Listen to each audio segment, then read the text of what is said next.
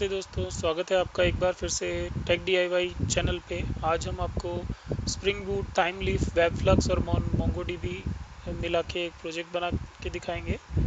इस प्रोजेक्ट में हम ऐड मूवी मूवीज़ का क्रड ऑपरेशन है, जिसमें कि मूवी को क्रिएट करना, उसकी रेटिंग दिखाना डिलीट करना एडिट करना है।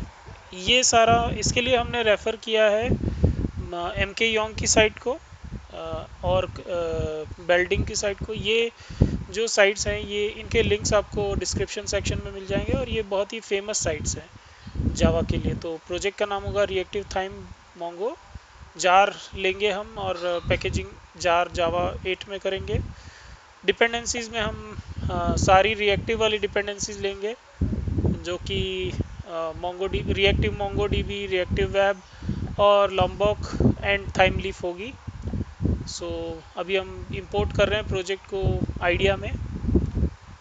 मेवन uh, है तो अभी आपको मेवन जो डिपेंडेंसीज आई है वो अभी हम देखेंगे।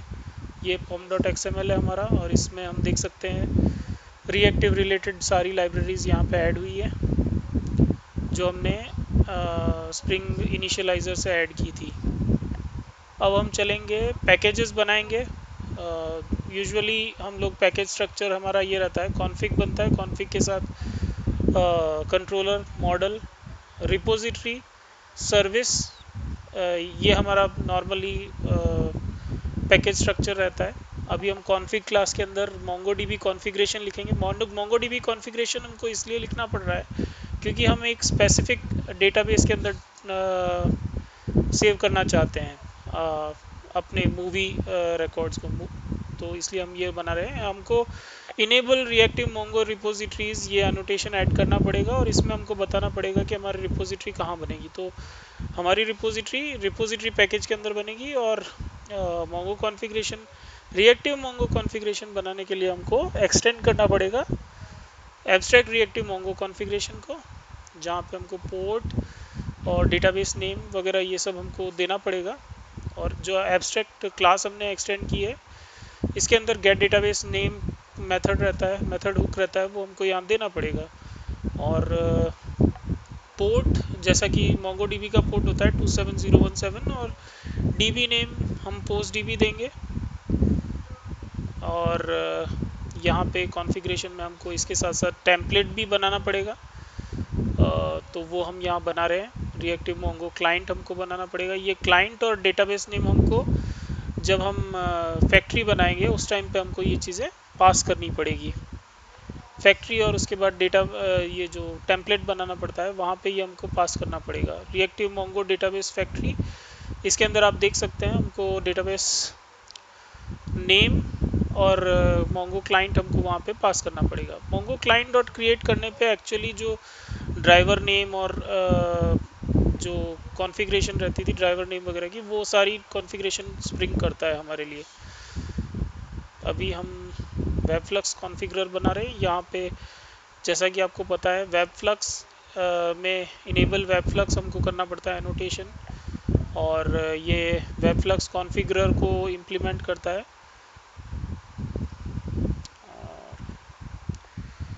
एक्चुअली फ्लक्स जो है इफ़ अगर हम वेब फ्लक्स प्रोजेक्ट बना रहे तो हमें ये ध्यान रखना पड़ेगा कि सारी डिपेंडेंसीज हमको रिएक्टिव वाली या फ्लक्स वाली ही लेनी पड़ेगी, जैसा कि इस प्रोजेक्ट में हम कर रहे हैं। क्योंकि हमारा फ्लक्स प्रोजेक्ट है वेब फ्लक्स प्रोजेक्ट है तो इसीलिए हमको मोंगो रिएक्टिव डीबी लेना पड़ा था।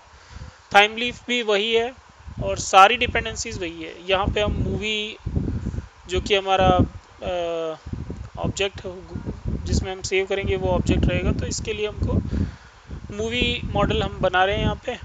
लॉन्गो लॉन्ग आईडी बनाएँगे। मोंगो डीबी का कलेक्शन का नाम है मूवी तो वो हमने यहाँ बनाया। गेटर सेटर्स के लिए लॉम्बो का नोटेशन सेट किया। और, अब हम, उसके बाद हमने कॉन्फ़िगरेशंस कर लिया। कंट्रोलर अब कंट्रोलर बनाएँगे मॉडल बनाएँगे। कंट्रोलर के अंदर, जैसा कि हमको पता है, हमको हमारी सारे जो create update delete and search वाले सारे ऑपरेशंस वहाँ पे रीड वाले ऑपरेशंस यहाँ पे बनाने पड़ेंगे। सो so, डिफ़ॉल्ट हमारा ये है कि जब हमारा पेज लोड होगा जब हमारी एप्लीकेशन स्टार्ट होगी तो होम पेज जो होगा उस पर हम सारे जितनी भी मूवीज़ डेटाबेस में है वो फैच करके यहाँ शो करेंगे।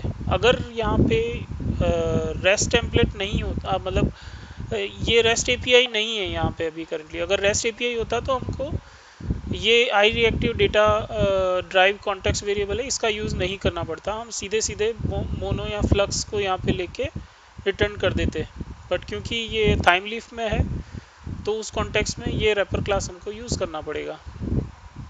ये रैपर क्लास यूज़ करेंगे हम और मॉडल मॉडल ऑब्जेक्ट बनाएँगे पैरामीटर में और उस, उसमें हम अपना ये पास कर देंगे। जो डेटा हमारा फैच हो रहा है डेटाबेस से डेटा वेरिएबल कॉन्टेक्स्ट में, उसको हम यहाँ पास कर देंगे मॉडल में और रिटर्न कर देंगे एक टेम्पलेट का नाम। अब जो ध्यान देने वाली बात यह है कि जब हम थाइमलीफ ऐड करते हैं अपने डिपेंडेंसीज में पॉम डॉट एक्स या ग्रेडल में तो उस केस में बाय डिफ़ॉल्ट आईडी जैसे आइडिया है या इंटेलिजे वगैरह, ये जो आईडीज हैं, ये लोग टेम्पलेट्स रिसोर्सेज फोल्डर के अंदर टेम्पलेट्स करके एक फोल्डर बनाते हैं और जितने भी हमारे एच फाइल्स हैं, वो उसी टेम्पलेट के अंदर जाके बननी चाहिए। तो ये टाइम लीफ उसको वहाँ से रीड करके और रेंडर कर देगा। ठीक है? तो अभी हम अपने एंड पॉइंट्स लिख रहे हैं। स्लैश वाला एंड पॉइंट हमने लिख दिया डिफ़ॉल्ट वाला होम स्क्रीन वाला। अभी हम एडिट का एंड पॉइंट लिख रहे हैं। बेसिकली यहाँ पे ये कर रहा है कि एड स्लैश एडिट या स्लैश एडिट स्लैश आईडी अगर दोनों ही केस में ये पेज लोड करेगा अगर स्लैश एडिट है only that means it's a new कि हम एक नया uh, नई मूवी की डिटेल डालने वाले हैं। और अगर एडिट स्लैश आईडी है तो इसका मतलब डेटाबेस से एक मूवी फैच करके और उसकी डिटेल्स को हम अपडेट करने वाले हैं। तो वही ये पेज उसी तरह से लोड होगा। जैसा कि आपको पता है स्प्रिंग एमवीसी में मॉडल बनता था तो यहाँ पे भी मॉडल ऑब्जेक्ट है। उस मॉडल ऑब्जेक्ट के अंदर हम अपना जो ऑब्जेक्ट है मूवी वो पास कर रहे हैं और रिटर्न कर रहे हैं। जो हमारा एच टी टेम्पलेट है, उसका नाम हम यहाँ पे रिटर्न कर रहे हैं। तो दो टेम्पलेट्स हमको बनाने पड़ेंगे, एक ऑल मूवीज़ और एक एड मूवीज़ और दोनों ही टेम्पलेट जो हैं वो हमारे स्लैश रिसोर्सेज स्लैश टेम्पलेट्स के अंदर होने चाहिए। ठीक है? अभी हमने कॉपी किया है प्रीवियस वाला आ, जो एंड पॉइंट था जो फ़ंक्शन था उसको कॉपी किया। दूसरा फ़ंक्शन बनाया डिलीट के लिए। आ, इसको भी हम डिलीट मैपिंग में करेंगे। आइडियली हमको डिलीट मैपिंग में करना चाहिए। हम देखते हैं इसको। आगे जाके अपडेट करेंगे। और दूसरी चीज़ फ्लक्स के अंदर क्रिएट और अब क्रिएट और डिलीट के जो ऑपरेशंस रहते हैं, इनमें हमको फ्लक्स में सब्सक्राइब करना पड़ता है। डॉट सब्सक्राइब करने पे वो एक्चुअली एसिंक्रोनस ऑपरेशन इनिशिएट होता है। मतलब वो शुरू होता है वहाँ से। और यहाँ पे जब हम रिटर्न में स्ट्रिंग के नाम में अगर रीडायरेक्ट और डॉट स्लैश दे देते हैं तो ये बता रहा है कि ये ऑपरेशन करने के बाद आपको रीडायरेक्ट होना है होम पेज पे। होम पेज का यूआरएल था स्लैश तो वो हमने किया। और how to do with how to do in Java एक बहुत अच्छी साइट है। तो उसको भी हम यहाँ रेफ़र कर रहे हैं और उस साइट से हम टैंपलेट वगैरह ले रहे हैं। तो वहाँ वो ये, इस साइट का भी लिंक हमको डिस्क्रिप्शन सेक्शन में हम लोग आपको दे देंगे। तो आप वहाँ से इसका यूज़ कर सकते हैं। और यहाँ पे अभी हम टेम्पलेट बना रहे हैं। तो ये जो टेम्पलेट है add movies all movies template है, यहाँ पे हम एक लिस्ट की फॉर्म में सारी मूवीज़ को एक लिस्ट में दिखाएँगे। और मूवीज़ के जो, जैसा हमने देखा था मूवी जो मॉडल क्लास है अपनी, उसके अंदर हमने एट्रीब्यूट्स रखे थे, या उसके फील्ड्स थे आईडी नेम एंड उसका स्कोर ये एक आई एक बहुत फ़ेमस रेटिंग वाली साइट है। कुछ कुछ उस तरह का इम्प्लीमेंटेशन ट्राई कर रहे हैं यहाँ पे। तो यहाँ पे मूवी का नाम रहेगा और रेटिंग रहेगी कि 10 में से उसको कितने स्टार मिले हैं। तो वही हम यहाँ बनाने की कोशिश कर रहे हैं। तो यहाँ पे हमने ऐड मूवी करके बटन आ, करके सेक्शन जोड़ा है और स्लैश एडिट जो हमारा एच रेफ यहाँ ऐड किया है वो स्लैश एडिट को पॉइंट कर रहा है। स्लैश एडिट है वो अपने को स्लैश एडिट वाला जो पाथ था कंट्रोलर के अंदर, उस पर्टिकुलर मेथड को ये इन्वोक करेगा।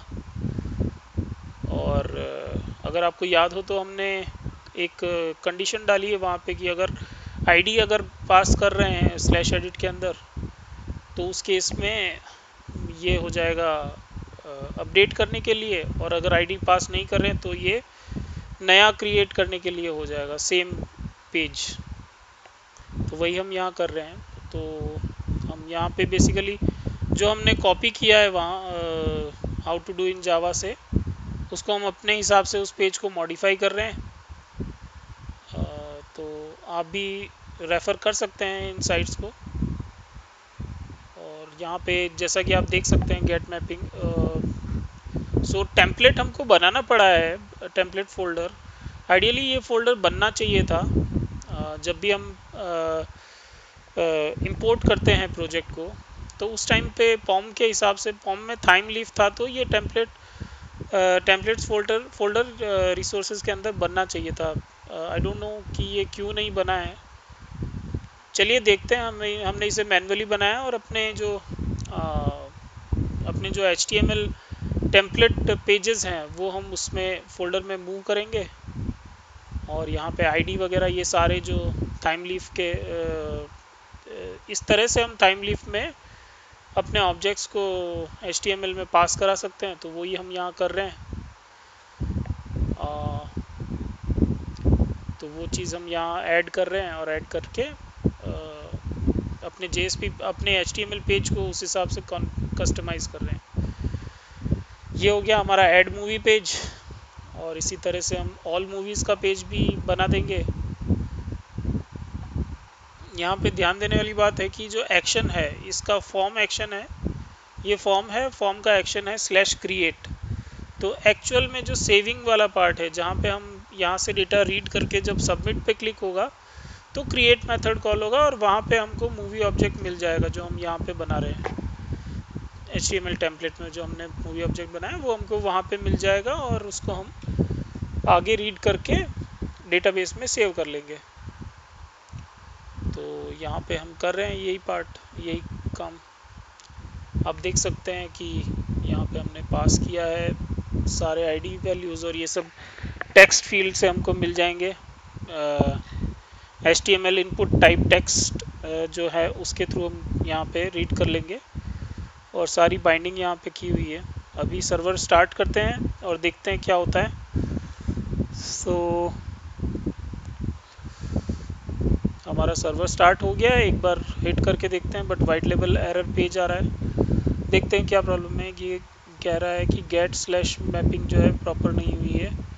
ओके हमने जो दूसरी साइट्स में जाके देखा तो हमको ये पता चला कि जो हमारा, क्योंकि हमने अब मैनुअली क्रिएट किया था रिसोर्सेज के अंदर टेम्पलेट फोल्डर तो वो टेम्पलेट की जगह टेम्पलेट्स होना चाहिए था। वो चेंज हमने कर दिया है। अभी रीस्टार्ट करके देखते हैं सर्वर को। ये एक प्रॉब्लम आई थी हमको, जब हमने इस, ये प्रोजेक्ट बनाया था तो। सर्वर रीस्टार्ट करके देखते हैं। अभी भी प्रॉब्लम आ रही है, अभी देखते हैं क्या इशू आया है। ओके तो हमने थोड़ा और सर्च किया इसको तो हमको ये स्टेक ट्रेस स्टेक ओवरफ्लो में ये लिंक मिला और स्प्रिंग डॉक्स के अंदर भी हमने चेक किया।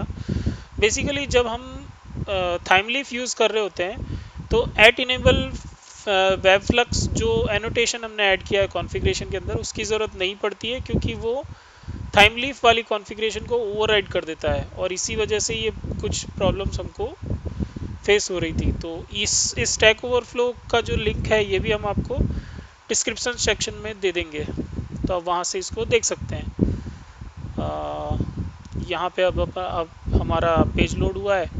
मूवी का नाम हम दे रहे हैं यहाँ पे। जैसे हम कुछ English movies Avenger end game वगैरह दे रहे हैं।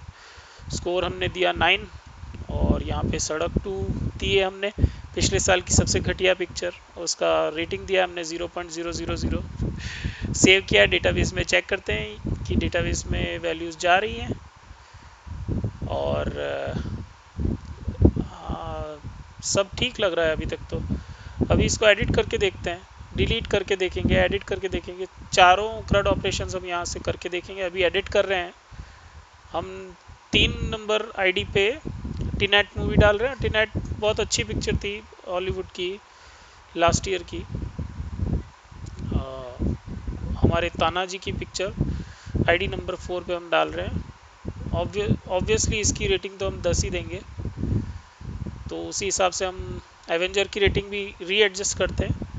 नाइन की जगह नाइन पॉइंट फाइव देते सड़क टू ठीक नहीं लग रही है तो हम कोशिश करेंगे उसको इस लिस्ट से हटाने की।